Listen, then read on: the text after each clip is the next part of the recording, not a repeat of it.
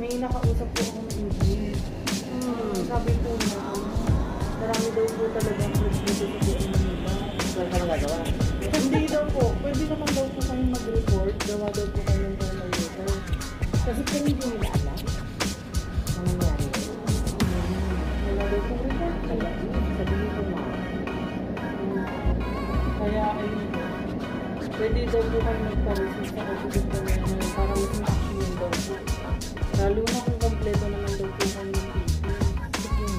Para daw po hindi masayang